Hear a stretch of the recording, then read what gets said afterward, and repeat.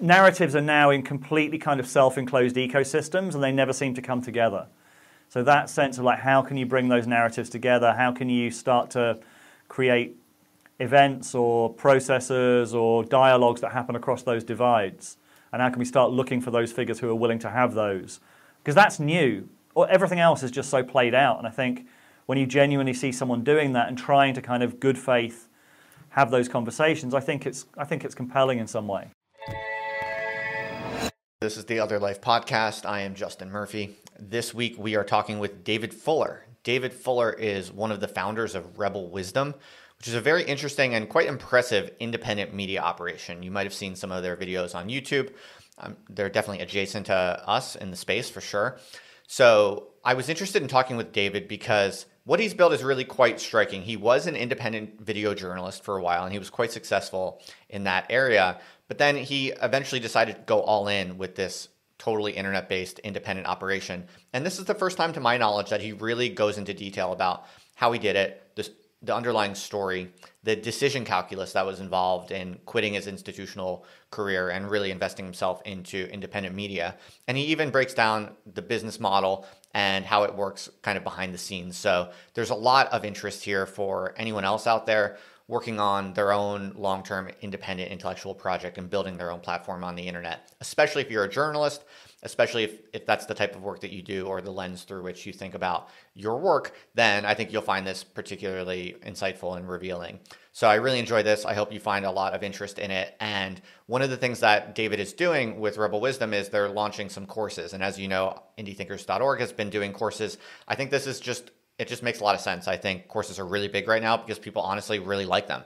And there's so much confusion and there's so much there to be done with courses. And so I think it makes a lot of sense. It's a massive space and I'm very happy to, you know, help him share the word about that. I, I don't think we're really competing. I think this space is, is massive. And I would say his course that's going on right now, it's starting probably right at this time that you're watching this or listening to this. So if you're interested, definitely go check it out. It's called Sense Making 101 and they bring i think a different angle a different a different style a different energy to these topics of, of you know trying to make sense out of the world today. And i think his courses in particular are going to be especially appealing to you if you take a more kind of self-improvement angle towards it. If you're interested in the spiritual dimensions if you're interested in things like breathing and relating and this really kind of personal heartfelt uh, presence they they really kind of focus on that style of thinking and interacting. And so if that describes you and that's something that you're interested in and you like to think about the world in in that way and you want to pursue that and cultivate that, then I think the sense making 101 course is going to be great for you. So yeah, go check it out. It's starting right now as we speak. It's not too late to join. And I put a link in the show notes, and they've been kind enough to give my audience a discount. So if that sounds good to you, just check the link in the show notes, and that will set you up. All right. So that's all I got for now. By way of introduction, I hope you enjoy the show. Oh, yeah, I almost forgot. This episode is sponsored by IndieThinkers.org. Indie Thinkers is a private membership community dedicated to independent intellectuals, intellectuals working outside of institutions and on the internet instead. So if that describes you, you should check it out. It's just indiethinkers.org, and there's a link in the show notes. You can request an invitation. All right. All right, David, thanks for joining me today. Yeah, really good to see you, Justin. Absolutely. So I'd like to start by, if you would, take us back to when you were an institutional journalist. You were quite successful. You had risen quite high in the ranks, and you had this thriving institutional career as a video journalist before you went independent. So take me back to that time and specifically paint a picture for us about kind of what you were doing, but also specifically what kind of first gave you the idea of going independent and how that that decision calculus kind of first entered your mind. Mm.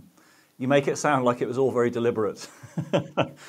um, it, it sort of happened very, I mean, the actual transition happened fairly spontaneously. Um, I think it's probably worth going back. I, I trained as a video journalist. So I was at the BBC. I was originally a text journalist writing for BBC News Online. They went through a process in about 2005, 2006 of training lots of people up to use camera equipment, editing, with the idea that everyone would become kind of independent journalists effectively. Like that was the future of TV journalism was independent people filming their own stuff, editing their own stuff. And it never happened because generally people would go and do this training. They'd be taught how to film their own stories. Like you're going to become a kind of more of a yeah more of a kind of independent journalist within the organization. And then they went back into the organization. The organization just beat that out of them very quickly. So people would come back really enthusiastic, and they would just be told, "No, no, just go and do the job that you were doing before." Huge institutional resistance, and very, very few of us who went through this training actually ended up doing solo video journalism.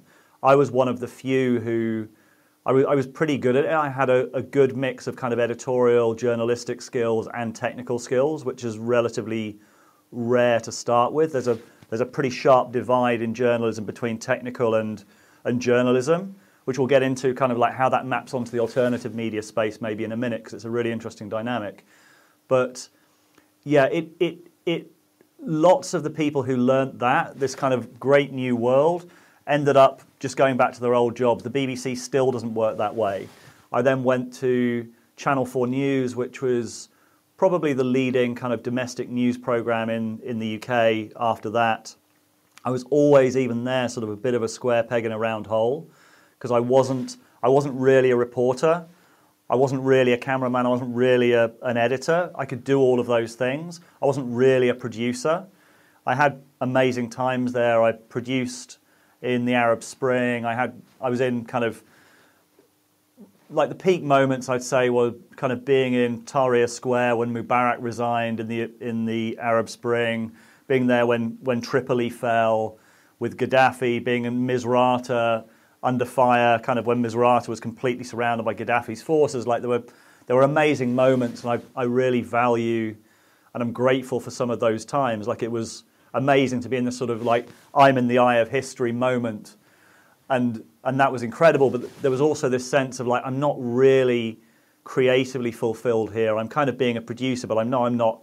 I'm not that organised. So I'm not that brilliant at being a producer. And I don't. I'm not a specialist reporter. I'm not a specialist cameraman. So then in about 2012, I I quit my staff job and then started making documentaries as a producer director. And producer director is more you, you're, you're, it's basically you and the camera and the reporter. So you're much more kind of independent. And that, that was where I was more satisfied. So I was kind of freelance making documentaries for a few programs like Unreported World um, for the BBC, uh, sorry, Unreported Worlds for Channel 4, but also a few for the BBC. And then while I was independent, I started doing some more independent things that ended up developing into Rebel Wisdom in about 2018, principally through a, an interview I did with Jordan Peterson, and then turned that into a documentary about Jordan Peterson, and managed to identify and surf the Jordan Peterson wave in 2018 um, of genuinely thinking this thing is going to go viral and putting all of my chips on it, and then being lucky enough to be yeah to, to be rewarded from that, and then kind of moving away from that sole focus on Jordan Peterson and the Jordan Peterson phenomenon to a more sort of intellectual, um, looking at different intellectuals, different ideas, and that's kind of where we're at now, I guess. Okay, excellent. That's fascinating. So, when you, there was a push in institutional journalism to train people like you to be independent video producers, was that in some part due to the rising pressure of social media? Was there an awareness oh wow, there's this rising tide that's going to empower individuals to, you know, make their own media. We should try to harness and capture this. Was that was that a driving pressure? I don't think so. This was so this was 2005, 2006. So I think that was before the social media revolution. It was it was during the reality TV revolution. So it was mostly driven by technology. It was the the size of camera was starting to shrink the ability to be your own sort of self-starting independent journalist had arrived. Um, but it was more driven by it was driven by a guy called Michael Rosenblum, who was known as the, the father of reality TV, and he managed to sell the idea to the BBC. Like this is how everyone's going to be in the future, and the BBC bought it and paid him an awful lot of money to train all of their staff. So it was more it was more technology driven and in some ways quite far sighted, but I think what was not appreciated is just So a lot of people are now like, if you're an independent media producer, you are probably doing everything yourself, and there, but there are still very few of those people in institutional journalism. And there's this also sort of paradox of the people that, that I know who are still working for Channel 4 News, for example, if, if all you can do is produce and you're dependent on that machine, like you're in a very, you're in a very weak position. Um, like I was in a quite a strong position to be able to strike out and make a career in alternative media. I don't think many people in the old, the old sort of structure of journalism have that opportunity. So you can kind of, there's a lot of fear there, and there's a lot of kind of, they're, they're dependent on a structure that they can kind of visibly feel is weakening and, and uh, is becoming less and less viable as time goes by. But I'm, I may be digressing slightly. No, no, that's okay. There's an interesting parallel in academia where in academia, inside of the institutions, there's a there's strong messaging in favor of doing things publicly and on the internet and blogging and podcasting and going on interviews and it, you know they call it impact is, is kind of the buzzword uh, so there's strong messaging in favor of doing that kind of thing and then if you get really good at it you either will find yourself getting in trouble or if you're really good at it, then you'll find yourself just wanting to quit academia to do that stuff uh, full time. And you're seeing the same thing in other institutions, right? With journalism, you know, you see it with someone gets, if you're a New York Times journalist and you get a little too big, well, then you might as well just start a Substack and quit New York Times, right? So I think that's an interesting parallel to, to note that dynamic that you, you're observing because you see it, I think, across the board, and that's interesting. So, all right, let's zero in a little bit when you decided to really start shifting your eggs out of the basket of the institutional career and into Rebel Wisdom and your independent projects. I mean, uh, I have a lot of people in my audience who are on the cusp of some kind of decision like this. Uh, people who really want to stake out on their own in some creative domain. They want to quit their job or they want to leave their institutional footing, but they're just not quite sure how to think about that. And so it, I think it's really helpful and interesting for my audience to be able to hear inside the mind of someone like you at that time when you're making that that that decision. What did that look like for you, and how did you think about it? So I've also been lucky enough because, as I was saying, I've got a fairly unique set of skills, having worked in the in the kind of institutional media and and have kind of honed my writing skills and my production skills, and so having the kind of storytelling narrative skills and then the technical skills as well. I was also lucky enough that that meant I could make corporate films as well. So that has always that was always a a second string. Even when I was doing documentaries, I would get these sort of these projects for crowdfunding films, and um, was able to to have that as a little bit of a of a cushion. And I, I guess the the thing was to to to make it to move relatively slowly, like what are the projects that you might what what is the place that you might want to get to and then what are the projects that you can do to show to sort of test the waters. Um, but I'd also say we're all wired differently. Like sometimes some of the some of the decisions that I've made have been a sort of like leap in the dark into into a kind of leap of faith. And sometimes they paid off and sometimes they haven't. And I wouldn't necessarily recommend that. But for example, the the idea like the Jordan Peterson one that started up Rebel Wisdom, um, that was a bit of a risk. Like I actually I cashed in my crypto and and basically funded the first the first few months of the Rebel Wisdom project were really kind of a, a leap in the dark. We actually were lucky enough to get some funding after that point with um, someone who was very aligned with the with the project, and we look we pretty much targeted that person for funding and. They, they, they funded us for a certain amount of the business. And is this and an investor was, you're talking about, or a grant, or what? It's a private investor. It was a private investor, a sort of philanthropic private investor who was very aligned with the project. He's got very similar projects that he's aligned with. So I'd, I'd give that as a bit of advice as well, especially if you're looking to do something that's got kind of um, a kind of, what would you say, a sort of beneficial impact or a, um, if, if, what you're doing is, if your passion project, and most people's passion projects are in some ways aligned with greater values in, in some way. Like we, we really want, like Rebel Wisdom is about, there's many things it's about, but one of them is how can we have conversations that don't degenerate? How can we deal with the fragmented in, in, information ecology? Many of these deeper questions, there are lots of people who are really interested in that. And I guess finding, finding who those people are and then potentially putting a proposal together. Like we had one particular person in mind, we put a very specific proposal together, and they were very receptive to that uh, right at the beginning. So that was, but it, but I think energetically having kind of doubled down and, and made that sort of leap into I want this to be a success or just putting all of my energy behind that. I think I think you have to commit. There's a there's that wonderful Goethe quote about um, when there is boldness, boldness has magic in it, and there is a sort of sense that I mean I also rebel wisdom has a kind of spiritual side as well. Like I genuinely believe that like intentions matter and setting intentions matter and making that kind of internal leap into um, yeah, the universe starts to reward you if it knows you're serious about something. Yeah, I know exactly what you mean. I think there's there's some truth to that. I think it's it's also not just spiritual necessarily. I think there's a real physiological explanation for that yeah. as well. It's just like when your when your life depends on something more, you know, you have to uh, follow your your your whole body is kind of motivated to follow through on it uh, more aggressively.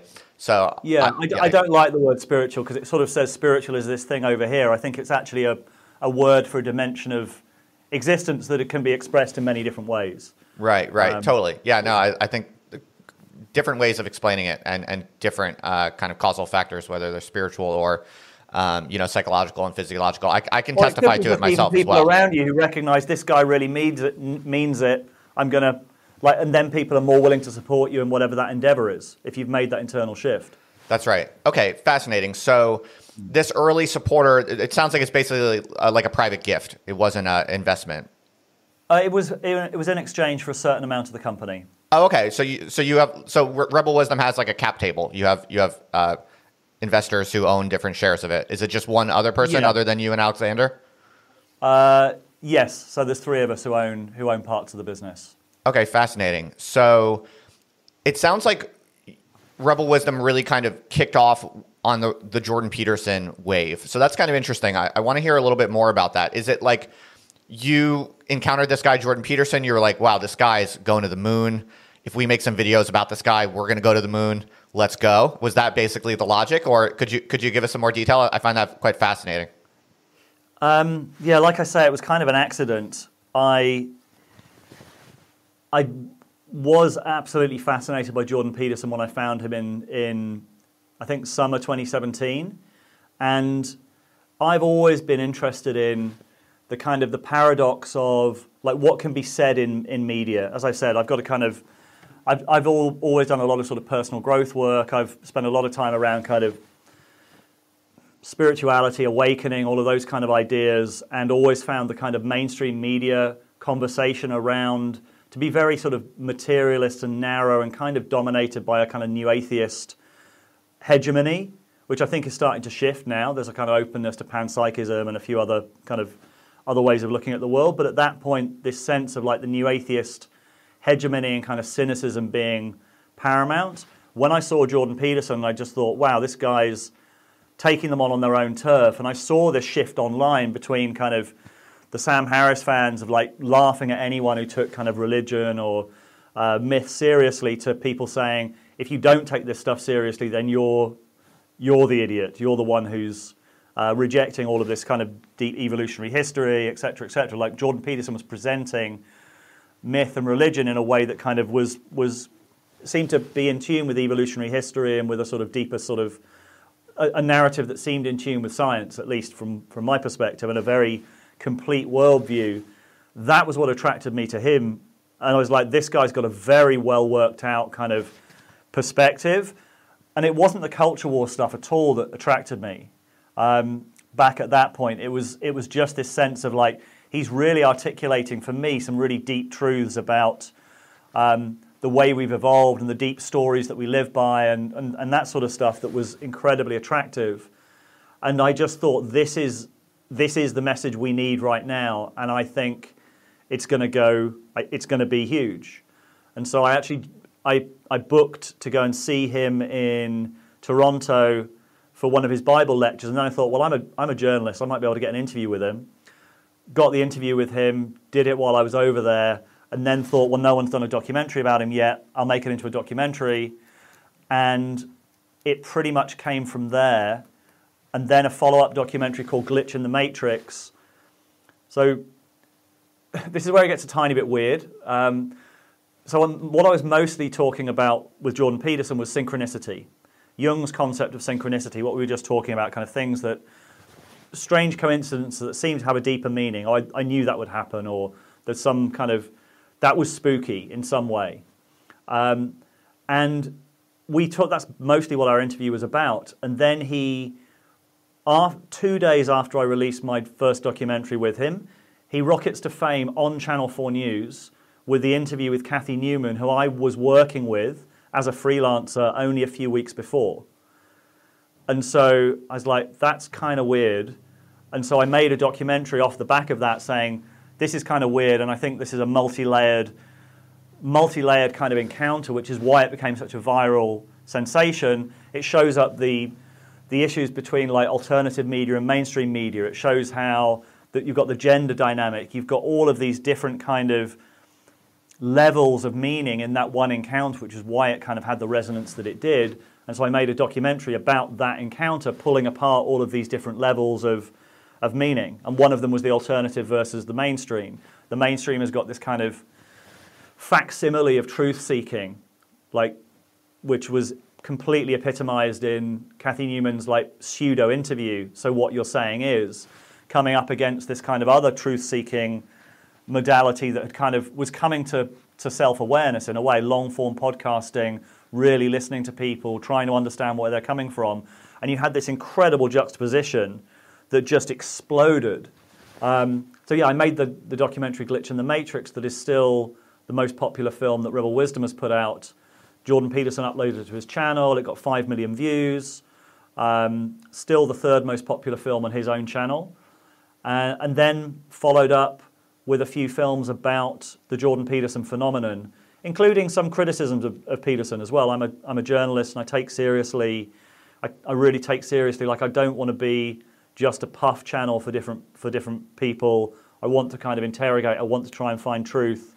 Um, there are complexities there because you're also in a fragile position in the alternative ecosystem because you have to manage relationships. You have to, like, you can't you can't just go in and get a reputation as the guy who asks all the difficult questions and know that you're never going to get interviews again. And so there's all of these like deeper kind of ethical questions that come up within this that I, I wrestle with a lot. Um, I've just, la- I've just, so basically the, the question you asked was, was how did we get to the point where Rebel Wisdom was, and now we are self-sustainable. We weren't for, for, for a couple of years, but now we are through the courses that we're doing, through a membership model, and that's been, that's been quite extraordinary to get to that point that was our kind of original business plan, but I don't know if I actually ever believed that we get to that point. Uh, but we did, and then, but it has felt like it hasn't. Yeah, I guess it was a plan from the moment we put the business plan together, but um, it, there's a lot of kind of happenstance and coincidence, and I certainly wouldn't say it was kind of.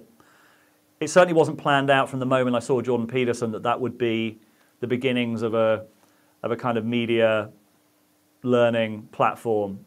It, it, happened very sort of naturally after that point of just, and, and I guess that's a that's another skill. It's like we value kind of setting intention and getting there, but also responding in the moment to what to what works. I think is probably more important than than having said, yeah, I, I conceived this business five years ago and now I've got here. Right, right. So when you first started Rebel Wisdom, then did you all, did you have a job as well? Or when did you quit your job in the institutions?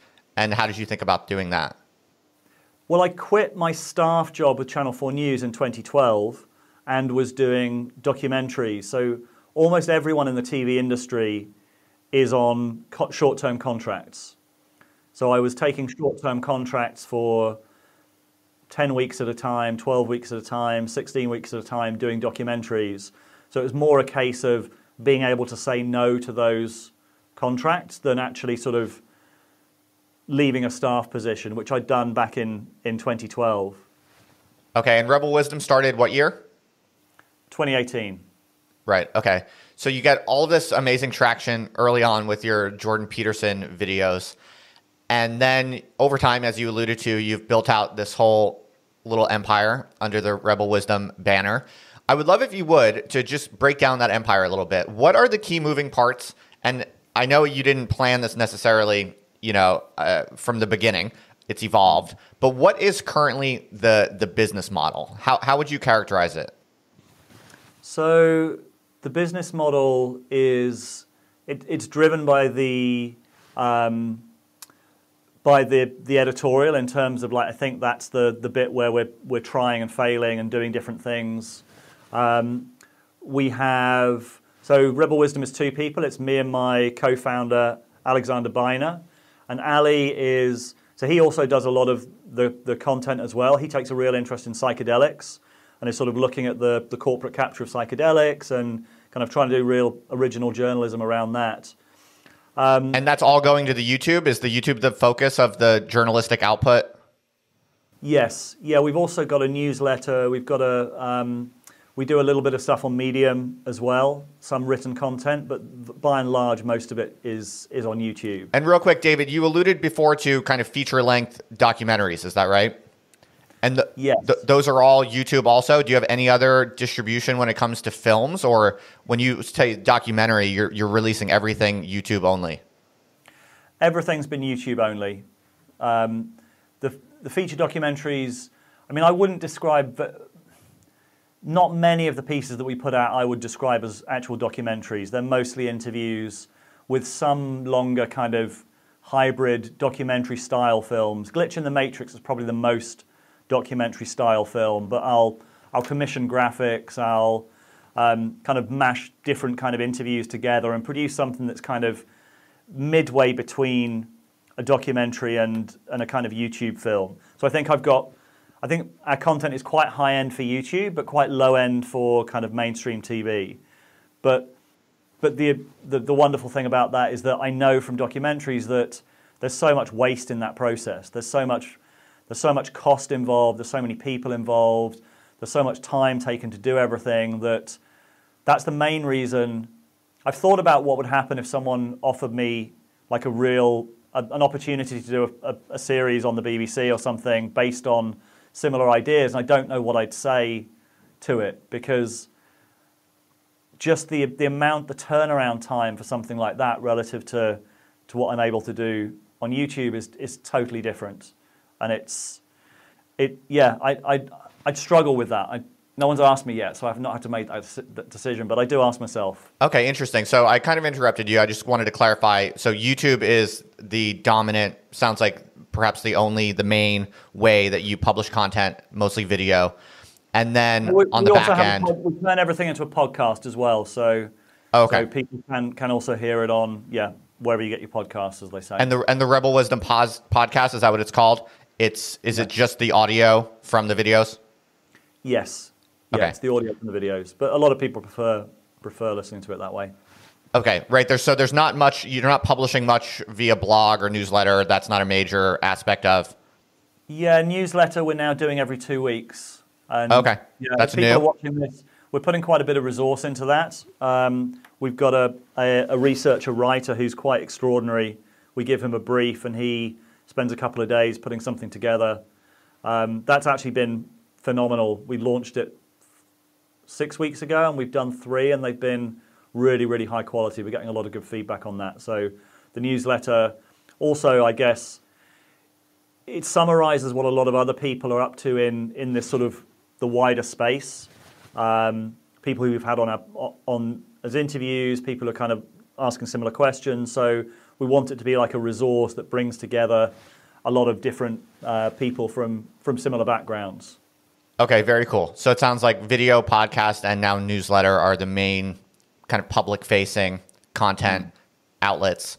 And then on on the back end, what what else is the rest of the business model? So the rest of the business model is we have a membership. So we do two, three, four, sometimes live events a week that are kind of drop in to, to members. There's three different membership levels $5 a month, $10 a month, and $25 a month. And you get differing levels of access and kind of member only films and the, the sort of standard, standard kind of Patreon offers. And then the courses um, are also kind of a, a big part of the business now, developed into a big part of the business. We run one called Sense Making 101, which again brings, we've got um, Daniel Schmachtenberger, John Vervaeke, uh, Diane Musho Hamilton, and Doshin Roshi as guest faculty who come in and do some of the work. And, and then, I mean, Sense Making 101, a, a big part of our focus is like, how do you make sense of the world?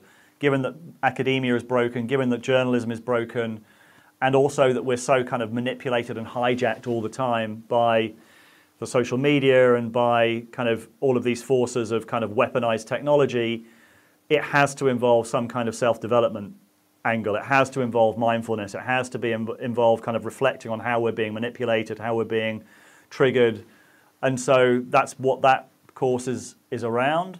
And what I think, I, I listen to Sam Harris quite a bit, and he, he muses quite a lot on different business models. And I found him really interesting and really useful to listen to. He talks about, for example, you have to do something that's congruent with your message. And he says for him, ads would not work. Whereas for someone like Tim Ferriss, ads work because Tim Ferriss's brand is all about what's the best stuff out there. I'm using this. And I think for us, ads wouldn't work. Um, but courses of kind of, because of what we're talking about on the channel, it very much works to say, well, we've talked about some of these skills of awareness, of emergent dialogue, of all these different things, and then we've, we've brought these experts in to teach you some of these things. So I think, I think that, yeah, I, I've got quite a keen sense for what feels kind of congruent and what doesn't. And I think, I think if you make decisions that are not congruent at, at some level, then it probably will come back to bite you um, at some somewhere along the line. Yeah, totally makes sense. How many people do you employ? You referred to an employee before. I'm just curious, how many people total on the team? Um, so we have three or four. Fr- we have no full time freelancers. These are these are sort of two days a week, three days a week, four days a week. Um, I think three people in total who we're kind of like em, em, employing semi regularly. Uh, and then me and Alexander are the, are the full time kind of powerhouses of the, of the business. Yeah, absolutely. Okay, fascinating. So maybe you could also give us a give us some sense of Rebel Wisdom scale, if you would. It's quite an impressive project. I know on YouTube you have somewhere around two hundred thousand subscribers, but when you when you kind of look at the the larger the larger system, I'm curious, how do you think about scale and and size and growth and metrics and these these types of questions because you know people like us were you know we're obviously primarily motivated by the ideas the content and this this kind of mad search for for the truth for freedom for liberation whatever you want to call it. But we run businesses as well. And i think I'm just always curious to learn how you think about that because there's there are many ways of thinking about it where you just kind of get lost in the metrics and all of a sudden you're obsessed with just making some numbers go up and it becomes it becomes quite it becomes quite it can become t- quite terrible. I mean, I, I found myself in that in that state of mind frequently. Sometimes I fall into it. Um, and so I'm, I'm always curious to learn from from people like you how you think about the numbers. What numbers are you paying attention to? What numbers are you trying to increase? And um, how you define metrics and growth for you? Mm. Yeah, it's a very complex question because I think th- there's another level of kind of ethical. I, I think coming in, I, I often have these conversations with other kind of independent producers who 90%, in fact, I, I can't think of that many other people who, who've come from a kind of mainstream media background and are doing this in the same way like most of the conversations I have with other producers are kind of often me reflecting on kind of my inherited ethical background or sense of kind of what, what journalistic values are and how I kind of apply them to this area and, and often them maybe kind of yeah, reflecting on kind of like reflecting on thinking they don't think in that way most of the time. Um, like, I, for example, if I was only thinking about the metrics of subscribers, if I just carried on putting out anti-woke content all the time, I know how to raise, I know, I know how to play that game, and I've seen other people do it really well. And the, the, the concern around having having followed the intellectual dark web conversation quite closely, and just seeing the effects of audience capture, the effects of the inability to kind of admit admit that you were wrong in public, the aligned incentives that come in with any project like that, like that for me is a morality tale for our age, which was beautifully illustrated in the set of films by the guy Timber on Toast about Dave Rubin. I don't know if you've seen those. No, I haven't. You have to watch it. It's a it's a Timber morality on tale Toast. times. Yeah, Timber. He he spent God knows how many months putting together like the, the, the arc of Dave Rubin's career from kind of genuine disaffected liberal to audience capture to kind of whatever Dave Rubin is now. Um, and, and it's a morality tale for our times. And I think I did an interesting interview with Jay Shapiro, who uh, made Islam and the Future of Tolerance with Sam Harris. He's kind of uh, just on the fringes of that same conversation. Really interesting guy. Um, and he was saying, look, okay, we're all critical of, of Dave Rubin, but we should really see him as a morality tale. We should say there, but for the grace of God, go any of us in the alternative media universe. Because you start pursuing certain clicks, you start you you you get walked by your audience, especially if you've got a Patreon, that's often a filter for like the most passionate people. And so I'm sure like I feel lucky that I, I know that our our membership is a moderating force rather than extre- rather than a, a an extrematizing force, whatever the word, radicalizing force, because the, the comments thread under our videos is insane. Like a lot of the time, the comments thread is pretty insane, and it's like, especially if you do stuff about vaccines or you do stuff about any of these kind of hot button cultural topics, it's like there's a lot of there's a lot of um, triggered people on YouTube. Um, and I, I'd be I'd be wrong if I said that never had any impact, but but I try. Yeah, I. So the metrics the metrics that I care about, obviously, now we are um, self-sustaining. Are the are the, the metrics for the, the the things that are making us the money, the the memberships and the courses, and kind of giving people what they want, and and trying to give a yeah, trying to get enough people onto those that, that we can continue to grow and continue, continue to develop products. Those are the metrics that matter the most. Um, but I also, it, I also keep an eye on how many subscribers we've, we've got. Um, and I think that kind of reflects, that reflects kind of the clarity of the editorial that we're putting out. And I think sometimes it's not as clear as it could be because I think we, we make topics about so many different things that I'm not entirely sure that people know. I think people who watch us closely know what a Rebel Wisdom film is, but I'm not sure everyone else does. Like, I think there could be more definition and more clarity in terms of the, the editorial offering.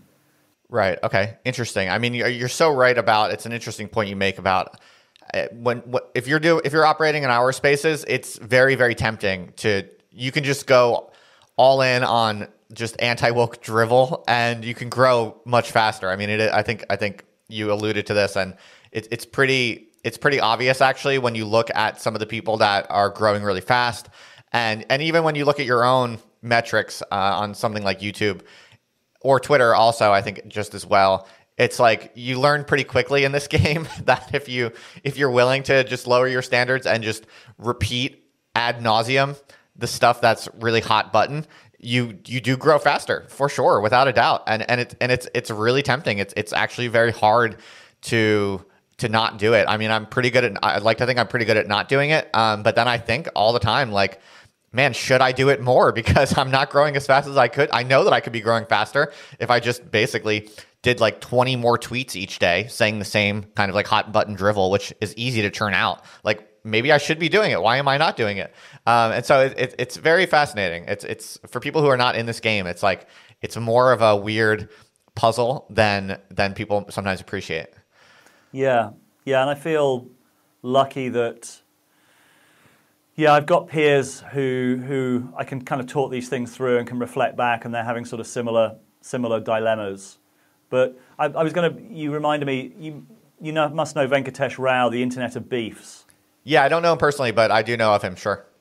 Yeah, he wrote a beautiful piece called The Internet of Beefs, which just outlines that incentive structure of social media. How he said all all social spaces are being taken over by beef only thinkers either you agree with them or you're in a state of warfare, and that's it. And there's the night, the game of knights and mooks. You're you're kind of celebrity knights followed by an army of mooks, and it's Totally, terrifying. totally. You, you see people like you see people who master that game doing incredibly well, and then boasting about how many followers they have on Twitter. It's like fair play.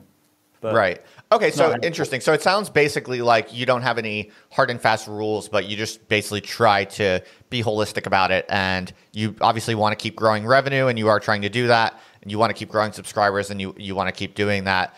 But you also just try to follow, I guess, your own internal compass about about what's true and what's what's worth seeking and what's not. It, it sounds like is that kind of your answer that there's no uh, you, you haven't discovered any any particularly you know a powerful heuristic, but other than just kind of following your own compass and trying to balance them.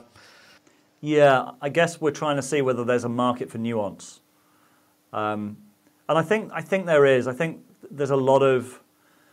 It's kind of the exhausted middle, just the sense of there being an exhausted middle, and that people want to, and people want to hear all all sides of the story as much as they can. And this is where I feel that we're going to next in terms of the fragmentation of the information landscape, especially under COVID. I think a lot of people find it quite scary because they just can't find, um, yeah, they can't find the truth, and they they, they see certain truths. Just this sense that nar- narratives are now in completely kind of self-enclosed ecosystems, and they never seem to come together. So that sense of like, how can you bring those narratives together? How can you start to create events or processes or dialogues that happen across those divides? And how can we start looking for those figures who are willing to have those?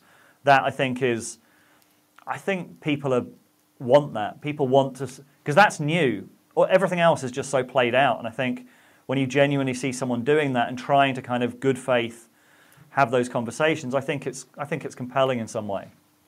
Yeah, I completely agree. I mean, I'm I'm finding that I, I do I do believe it's sustainable. I do think there's a real market for nuance and sophistication. I think the the main problem we face that others don't face as as much is simply the, the growth problem, the the the content growth. It's just so much easier to grow your content and your following when you're willing to basically be a repetitive on the stuff that's really hot and b when you're when you're willing to just pour kind of the gasoline of of culture war on onto it.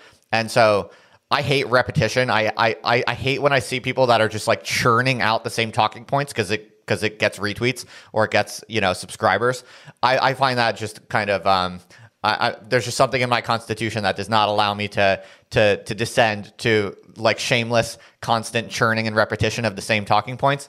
And uh, I and I think it's a real it's a real um, inhibitor when it comes to growth because that that is part of how you grow fast. I think.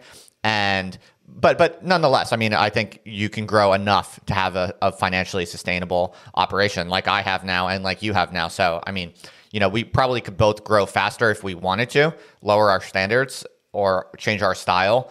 But uh, the more important thing is that you know we can be, you know, we can succeed and at least be financially viable and sustainable and hopefully quite successful. Maybe less successful than we would be if we were, you know, uh, sold sold our souls. But um, the fact that we can do it we can at sleep all. at night. What's that? But we can sleep at night. Yeah, yeah, and I think the fact that we can do it all is the is the is the most amazing thing in in my view. What I want to ask you next is, you know, for people like you and I who run media operations that are largely about kind of outsiders and indie thinkers, there's a problem that I think all people like you and I face, and I just want to get your your perspective on it, which is this question of how to draw lines about uh, how how how outside is too outside is one way to put it or you know when does provocative become harmful or dangerous? You know i think no matter how kind of free speech absolutist you are uh, we all at some point necessarily draw certain lines around who we consider you know worth paying attention to within our own media. And i'm just very curious to know david from from your personal perspective if you have any heuristics for how you draw those lines and who or what kinds of ideas you consider you know provocative and perhaps dangerous but you're willing to entertain and you're willing to spotlight and those which you're not willing to how do you think about that Yeah, it's a it's a great question, and it's something I think about a lot. I mean, I'm not a free speech absolutist. I find I, have I've toyed with actually putting out a film saying I'm not a free speech absolutist. Or uh, what I find astonishing is how much ideology there is around this on YouTube. Like, it's such a fixed ideology. It's and and people will, if you say anything that sounds like you're not a free speech ideologist, people in the comments will be like, "Oh, you don't understand." Who, who gets to decide censorship is wrong and bad idea, good ideas put out bad ideas? It's like, how do you know? How do you know when the bad ideas are more sticky and more easily easy to hijack? Like you don't, that's a that's a statement of faith that I don't think is is borne out by by reality. Um, so I, I, think about this a lot in terms of let, let's take an example right now. So right now, I there's a lot of discussion around the vaccines, a lot of discussion around kind of hydroxychloroquine. You've got this sense that well, YouTube and some of the other tech platforms have actually been censoring some of the discussion around this topic. For me, this is this is a symptom rather than a cause. The, and the, the, the cause is what I've called, and we, I've called in the, in the latest newsletter we just put out, the uncanny valley between the mainstream and the alternative. On one side, you've got the mainstream basically gatekeeping out anything that's counter narrative, counter consensus. And by doing that, they're obviously gatekeep out, gatekeeping out all of the new ideas and all of the heterodox ideas that are needed to kind of reinvent the structure. So it's, that's, that's the thing that I think a lot of the people in the IDW were focused on, rightly in some ways. But then on the other side, you've got this incentive landscape in alternative media that means that these alternative, heterodox, fringe figures are not challenged. Like a lot of these people will turn up on podcasts and talk about, say, the danger of the vaccines or whatever, and there's no incentive structure on these alternative platforms to, to, to challenge them. They either don't have the ability or they, yeah, they, so what you've got is this valley of truth seeking where and it's too late to put the genie back in the bottle. You've got the mainstream still trying to gatekeep the conversation and say, well, we're not going to platform this person, we're not going to have them dialogue with a scientist because that's false equivalence and it gives them too much prominence. And it's like, well, it's too late. That game doesn't work anymore. So how do we how do we bridge this gap of responding to some of these claims on on the alternative, some of which might be true, some of which are are likely false. And I, I don't see anywhere where these narratives are coming together. So I had um, the guy Zubin Damania, ZDoggMD, who's a kind of celebrity doctor on a couple of days ago, and, and we talked exactly about this, about the sort of fragmentation of the information landscape. And I don't know any easy solutions to it, but I do think that we have to find a, a, place where people from differing perspectives can come together and actually have a good faith conversation. Because on the other side, you've got this sort of sense of um, the only reason someone might disagree with me is they're captured or they're or they're somehow financially influenced. Like we've lost the ability to to realize that people can disagree on the evidence in good faith. Um, that's a, a long way round saying like who do I think is worth having on and who not? Um, and how do I make that decision? It's a personal decision. I think I've got a bit more freedom because I don't have a huge amount, a huge audience. I think the, at the moment, like I wouldn't have Stefan Molyneux on, for example. Um, I know other people in the space have had him on. Like he always gave me the creeps. Um, and yeah, the more I found out about him, the more I just felt like he was a wrong un. Um, so that's a personal judgment. Um, generally speaking, but I, but I, perhaps I think having someone like Mike Cernovich on actually, I might be interested in that. Like he's, he's a complex character and actually says some interesting stuff, and I think it could be a, like he, I think, I think he is defensible, um, but but you, but for me, part of the thing, it's not whether you have someone on, it's how you treat them when you have them on. Why are you doing it? How are you doing it? How are you framing that interview? If you watch the Timber on Toast series about Dave Rubin, what becomes clear is it's not, it's not that Dave Rubin has on lots of people who, are, um, who have unpalatable views. It's that Dave Rubin systematically frames them as being allies, avoids asking them any difficult questions or even putting some of their previous statements to them to defend, and frames them in a certain way that is essentially dishonest as kind of allies against the, against the woke left. And he does it systematically and deliberately while hiding behind the argument that, oh, I'm, I'm not, um, I don't do interviews like that. I just let people, give, I give them enough rope and they hang themselves. It's like, no, you don't. That's not true. So, so I think, I think you can defend having anyone on as long as you do the interview in a responsible way. And that, that is a kind of obsession of mine is that I don't think there's a skill level within alternative media for people who know how to do that in a way that doesn't because the other problem is that, that that whole modality has become performative in the mainstream. Like mainstream journalists are mostly when they're doing interviews with reprehensible figures are signaling to their journalist friends that they're still on the right side of history. They are taking things out of context. They are like it's broken on that side and i think a lot of people a lot of viewers are aware of like they're seeing the holes in the mainstream consensus and saying, "Hang on, there's something going on here." But with th- this is the concern: we're throwing the baby out with the bathwater because we're losing any sense of kind of we're losing any sense of kind of responsible truth seeking alongside the loss of the kind of institutional media, and that's the that's part of this sort of uncanny valley that I that I talked about. That's that's the thing that I'm most obsessed by, I think, is this sense of how can we bridge the gap between a failing mainstream and a failing alternative because of the incentive structures. And I don't know the answer to that, but I, but I think that's the most interesting conversation we can have in the media space.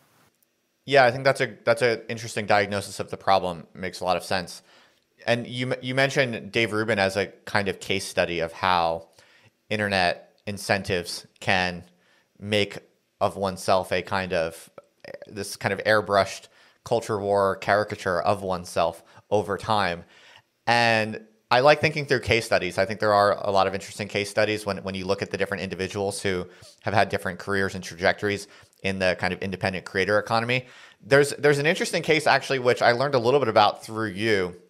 Totally different kind of example of something very different, but um, this is a little random. I wonder if you could tell us a little bit about the Brian Rose situation. I know you covered this a little bit. I didn't follow it closely enough to actually understand the story, but it seems pretty weird and interesting. Could you give us a quick recap of, of what happened with that Brian Rose guy and like what's the story there?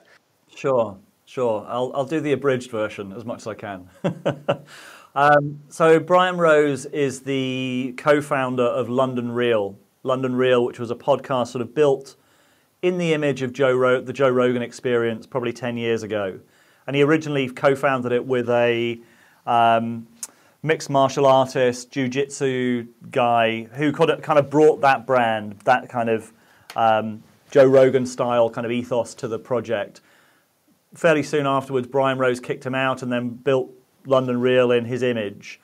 And he, he had the same model effectively of interviewing big figures and then kind of selling courses and affiliate deals off the back of that.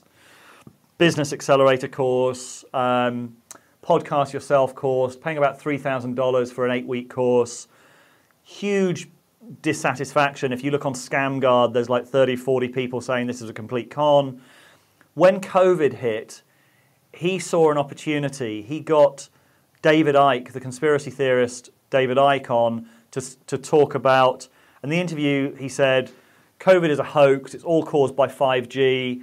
If we don't get off our knees, this is a fascist takeover. If we don't get over our, off our knees, humanity is over. In May 2020, so in the first wave of COVID, while in the UK people were burning down 5G masts and like engineers were being threatened, like YouTube had, so YouTube took it down, of course, because it was it was seriously putting people's lives at, at risk. Like that's kind of a bit of open and shut case. But then Rose went on the warpath and said, "Ah, oh, censorship, censorship. I'm going to launch a digital freedom platform that's going to be independent of London Real." He launched it. It maxed out at over a million dollars, which he never expected. He he initially set the total of of a hundred thousand, and then he just kept boosting it, boosting it, boosting it. You could just see the surprise and joy on his face ended up raising over a million for a digital freedom platform that didn't exist, was a plugin on his website, completely owned by him.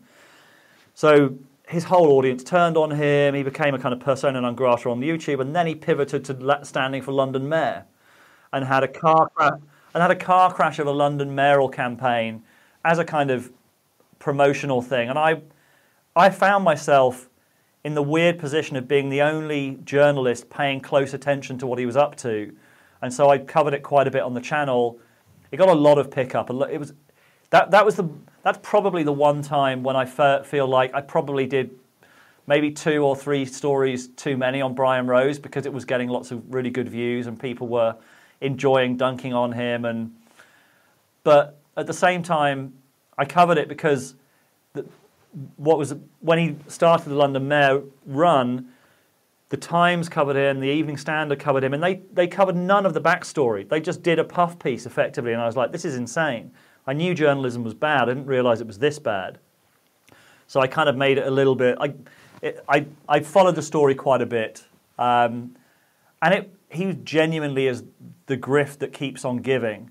Like people were obsessed with him. There were there were Reddit threads about him. There were Facebook groups about him. He he he makes Dave Rubin look self-effacing and um, and and yeah, someone who kind of has and and makes Dave Rubin look like someone with a with an unusually high degree of self-knowledge, which is pretty unusual. So um, it's funny. He, it's funny. He was astonishing. Because... Was, he was astonishing. Absolutely astonishing. Sorry. Yeah, no, it's fascinating just because, you know, anyone who has any kind of ambitious, significant growing project on the internet always has some haters who love to use the word grifter, this or that or whatever. But when you actually look at things like the, the, the grifters have a way of really distinguishing them, themselves. You know, it's like you, there really are two different paths in this world. It's like there's the honorable, honest, transparent, value creating path where the overwhelming majority of people you work with and do things with are going to give you positive authentic reviews where they just genu- genuinely say, I like this stuff. It's totally worth the money. That's all there is to it. And then there's like the Brian Rose pathway where, you know, if, if you're actually a grifter, the grifting tends to compound because the only way the only way to grow successfully if you're at all a grifter, an actual grifter, is to keep doubling down on the griftiness. And so it's like these these divergent paths which are kind of exponential in a way. So I always think it's funny when when uh, people use the word grifter loosely. It's like no, when you actually look at you know the full range of different uh, creators and whatever you want to call them, uh, the, the, the grifts have a way of uh, truly distinguishing themselves.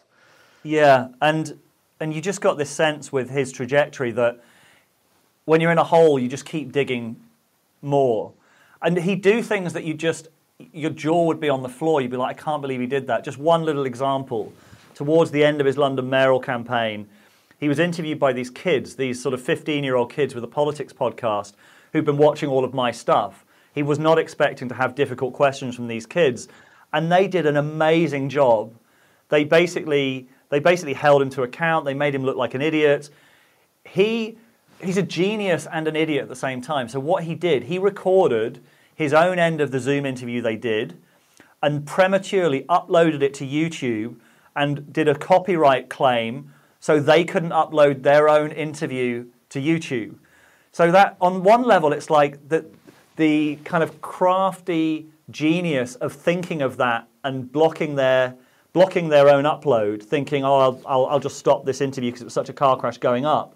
But then no thought about like how's that going to look. So that became a big. That was the main thing that cut through at the end of his campaign was that he'd censored kids. It's like you don't censor kids as a politician. That's just a so like this kind of gap between like short-term thinking genius, long-term thinking idiot, and it yeah, it, and he just do things like that that as a kind of connoisseur of the grift, it became such a beautiful a beautiful thing to watch. It was it was a lot of fun actually covering that story. Yeah, it's fascinating, really fascinating. Thanks for uh, breaking that down for my audience who might may or may not have heard of the details. So. I don't want to keep you too much longer, but I'd like to learn a little bit more substantively about the let's call it the core theoretical perspective of of your operations at the moment, and specifically the sense making course that is one of your current focuses. How would you characterize, you know, the rebel wisdom philosophy of sense making? What what does that mean exactly to you, and how would you summarize it? We've we've used the um, the kind of three part epistemic model quite a bit. Uh, Daniel Schmachtenberger. Are you familiar with Daniel? Sure, I don't know him personally, but I've, I've heard him a bit. Yeah. So Daniel, Daniel is a, a huge influence on a lot of our thinking, um, along with along with quite a other pe- few other people. But he was talking about the three-part epistemics, which is obviously kind of classic philosophical distinction. Um, so for, and, and we realized that we'd crafted the course around three-part epistemics without really thinking about it. So it takes a journey from first-person epistemics, becoming aware of our own biases, becoming aware of um, like how am I how am I in the moment, tools from mindfulness. We do kind of a little bit of breath work. We do sort of mindfulness meditations, um, and then moving on to second-person epistemics. So looking at how do I dialogue with other people? What's my how are my relationships? How assuming we can only make sense really together in combination in connection with other people, we practice. Um, and John Vervaeke uh, has been a big influence on this side of things. He talks a lot about dialogos, which is a form of di- like emergent dialogue when you're having a conversation that genuinely goes into new areas. How does that happen? What, are, what is the sci- scientific basis be- behind that? There's these different modalities like circling, authentic relating. The one we use is called inquiry, and that comes from a specific kind of um, lineage back in the 60s, something called essence, diamond essence work. But it's, it's a kind of reinvention of the way John Vervaeke frames it is that this is where uh, Greek philosophy came from. It was a process of exploration and, and, and a live inquiry into truth between people. And that's how the early kind of dialogues were, were written up. And so, what is the nature of that exploration? What is the nature of that kind of, and how do you get yourself into a, it's like a meditation between two people or between more than two people where you're trying to get yourself to the edge of your experience, articulate something maybe you've never articulated before, or to, to get yourself into a flow state together. So, we do a lot of that. And then only after like a few weeks of the course do we move on to okay, let's apply this, what we've just learned, to the information landscape. We give people a reverse media diet. So, whatever you're used to reading for this next week, go and read the opposite. If you're used to CNN, go and, go and dive into Breitbart. If you're, if you're more on the right, go and, go and watch Vox, go and read Vox for a week. And so we ask, and, and be mindful, like how are you being, how are you judging what you're reading? How are you being triggered by what you're reading? How are you rejecting what you're reading? And, and very much based on the kind of idea from in, integral theory, something like Ken Wilber, where he says each perspective is true but partial. So it's like, what are the truths in all of these different partial perspectives? And can we kind of elevate to a more meta level where we appreciate why the different sides or the different um, tribes think the way they do?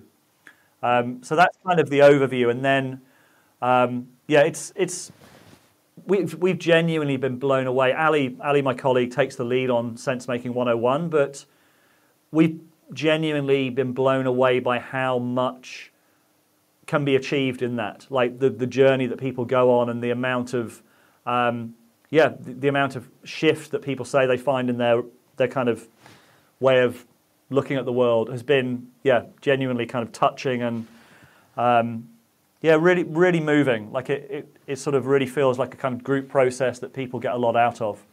Um, so, yeah, more than we ever expected.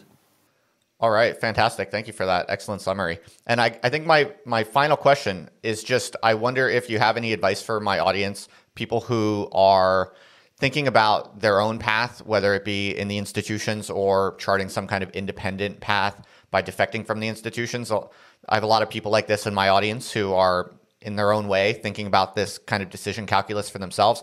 Maybe they they kind of want to be a professor, but they're not sure if it's worth going into academia anymore. They kind of want to be a mainstream journalist uh, with a staff position at some journalistic outlet, but they're not sure if it's worth going down that path anymore, or should they start a YouTube channel or a podcast? This is something that a lot of people in my audience are are grappling with in one way or another.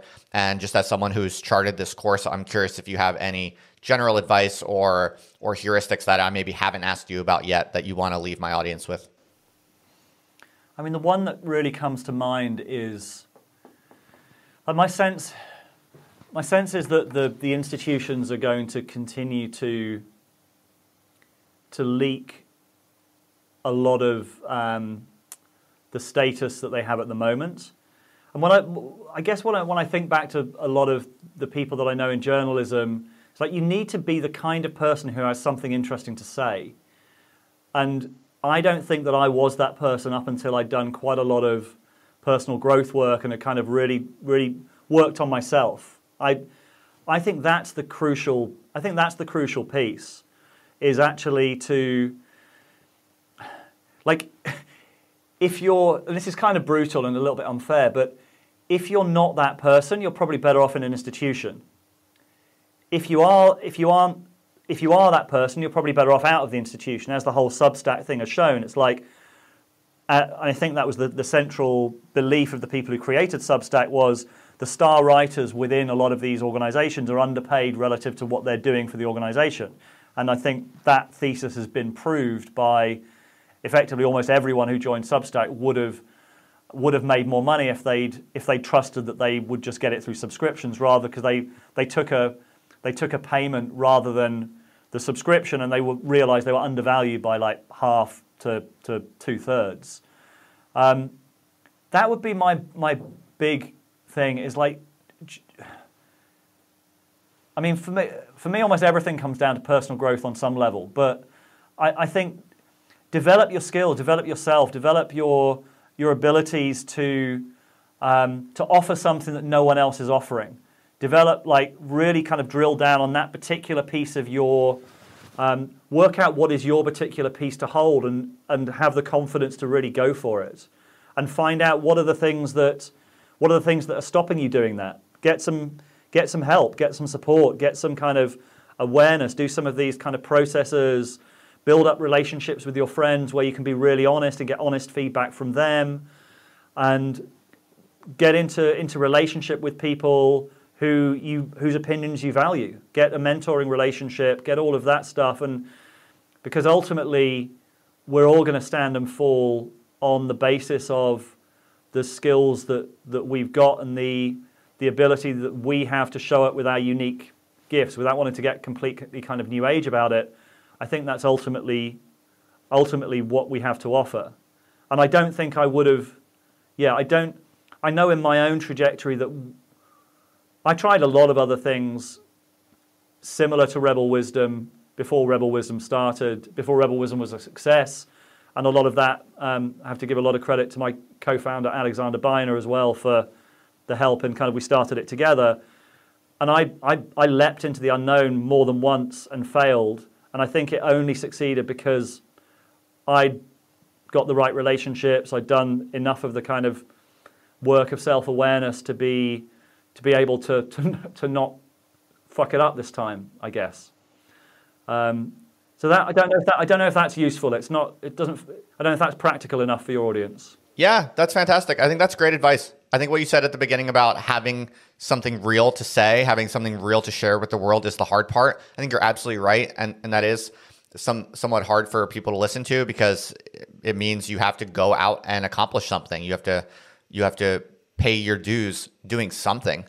And I think that's a really, really good point. Yeah, you can't just like fire up a YouTube channel and make it grow into something significant if you don't have a real edge in sharing with the world something that is valuable and unique and that that that people want to learn more about or that is valuable in some way. And that is the hard part. And so I think you're absolutely right. And it's, it's worth reminding people of that. So yeah, I, yeah, I, I, just want guess, to thank you for coming on, David. Oh, but please, yeah, you wanted yeah. to say something else? No, I just, I just, I guess I wanted to get the, the point over that if you feel that you don't, like, because this is the whole thing around the kind of incel dynamic, isn't it? That black pilled, it's like, well, some people have got it and some people don't. It's completely untrue. Like, I know I'm a completely different person than I was like 15 years ago when I when I started kind of, um, and and I think my message is, is is like anyone can anyone can if you don't feel that you've got that kind of thing yet, you can find it. Like there is a particular thing that you have to offer, and there is a particular skill or or um, set of things that you have to share with the world. And I think, yeah, that that everyone maybe just needs to go on a journey to realize what that is. If you if you don't feel that you're there yet, right. But the point is that you have to you have to pay your dues cultivating that and figuring that sure. out and putting in the work. Yeah, yeah. very totally. very Jordan Peterson. well, it's true for sure. I, I, I totally get it. So, David, I just basically want to thank you for coming on. This was excellent, and I just you know want to say that I'm very impressed with what you and Alexander have built. You know, it's very very hard to build a growing and financially successful operation on the internet and do it in a way that's really true to your character and where you're really you know seeking the truth in a way that is genuine and honest to you without you know uh, descending into all of the kind of tasteless tendencies and tactics. And I think you've just done a really good job with that. I'm very impressed with the scale of what you've built and how you've done it, and also the the quality that you put into your content. It's a really impressive operation, and I'm grateful that you came on the show to let us look under the hood a little bit. Yeah, thank you, Justin. All right. And for people watching or listening, there'll be links in the show notes to everything we talked about. If you want to go check out the Rebel Wisdom YouTube channel or the podcast or the courses that uh, David and Alexander are offering right now, there's a sense making course going on, actually, probably right about the time that you're watching this or listening to this. So there'll be links in the show notes. All right, everyone, thanks for listening, and I'll see you next time.